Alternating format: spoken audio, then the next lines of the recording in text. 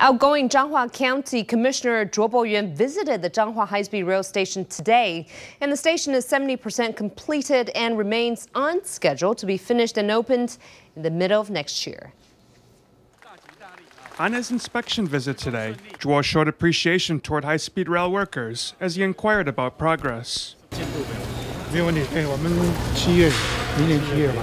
The Changhua station, scheduled to be completed in July, comes at a cost of 1.6 billion NT dollars.